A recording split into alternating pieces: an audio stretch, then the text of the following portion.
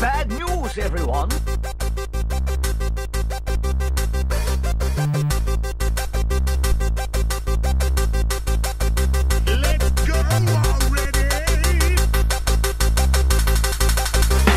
You to shut up!